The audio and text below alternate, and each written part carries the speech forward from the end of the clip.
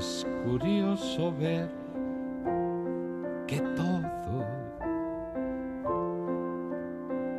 va tomando su lugar. ¿Qué tal amigos? Estamos en La Habana, Cuba.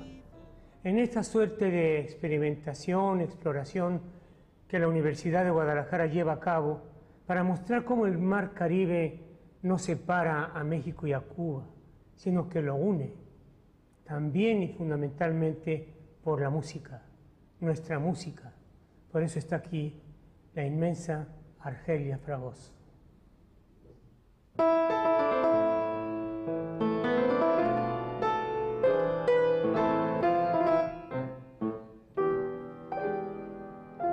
Me quisiste, lo sé. Yo también te he querido. Me olvidaste después, pero yo no he podido. A sufrir por tu amor me condenó el destino. ¿Qué le vamos a hacer?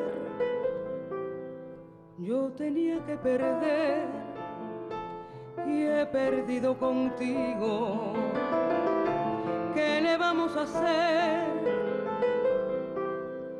Yo tenía que perder y he perdido contigo.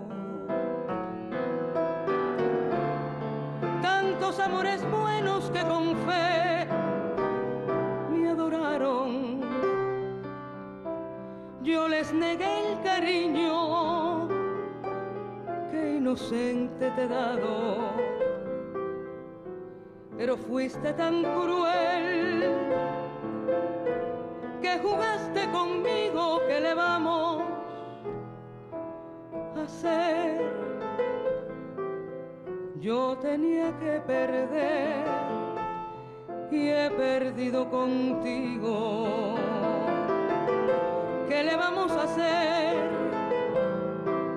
Yo tenía que perder y he perdido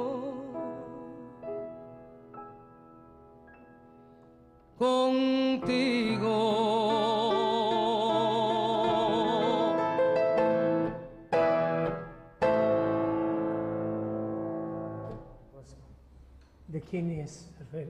Luis Cárdenas, pero la inmortalizó una de las grandes nuestras, María Teresa Vera. Claro. Hoy tenemos el gusto de presentar otro aspecto de la riqueza musical de Cuba, lo que se refiere a la música coral. Y por eso nos acompaña la maestra María Felicia Pérez. Muchas gracias, Virgilio. Encantada de estar con ustedes aquí hoy. Gracias por aceptar nuestra invitación. Yo creo que la música coral tiene sus, sus bemoles, ¿no? y, su, y sus sostenidos.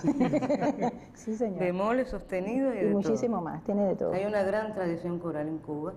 Y María, ¿por qué no nos habla? De la tradición coral, bueno, pudiéramos decir que en Cuba tenemos a la, la gran figura de Esteban Salas, que nació en La Habana en 1725 y murió en Santiago de Cuba en 1803. Y mm, tuvo un trabajo impresionante ahí en la catedral, como maestro de capilla de la Catedral de Santiago.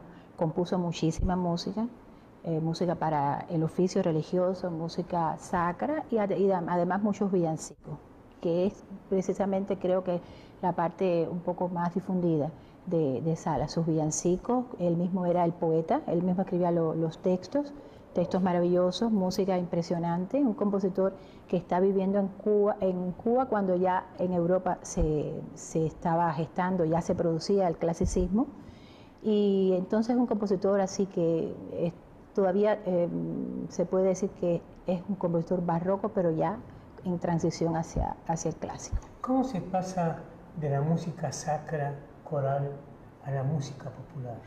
Bueno, de- O, o también la música popular ap- aporta a la música coral. La música popular, claro, seguramente. En Cuba la música popular es muy fuerte, tenemos géneros mm, maravillosos, géneros que, que tienen arraigo, por supuesto, en el pueblo, porque del pueblo nacen. Y, y, por ejemplo, nuestros coros actualmente pues ejecutan normalmente en, lo- en sus programas pues la música popular, los géneros de la música popular más conocidos, el son, por ejemplo, la guajira, el cha-cha-cha, la música tradicional, la música de la trova, el bolero, que surgió a finales del siglo XIX en Santiago también. También tenemos una serie de compositores importantes en Santi Espíritu, en la trova espirituana, y allí está Teofilito con Pensamiento, por ejemplo, con una canción antológica, está Corona, eh, Matamoros, Rosendo Ruiz, Sindo Garay, que no se puede olvidar. O sea, hay una playa de realmente de, compositores importantísimos que dejaron páginas de oro para la, literatura popular eh, de, Cuba y los coros a través de arreglos, a través de la labor de nuestros arreglistas y compositores, pues llevamos, eh, cantamos, llevamos ese mensaje de, Cuba, no solamente en sus guitarras y, y en voz, ¿no? como son originalmente escritas. Eh, sabemos que tienes una linda voz, después vamos a hablar mm. de nuestro mm. camino que ha sido bastante eh, igual, de alguna manera. Paralelo. Pero ¿por qué la dirección coral? ¿Por eh, qué este camino? Ah, bueno, porque en realidad siempre... Es de familia, de pequeña. cantar, me gustó cantar, en realidad me gustó siempre cantar, cantaba en coro, de niña ya con 10 años. Y antes fueron compañeras? Sí, sí, sí. ¿En dónde? Oh, en Alemania. Pero no estudiaron juntas. Estudiamos juntas, en la misma clase, con los mismos profesores, exactamente juntas.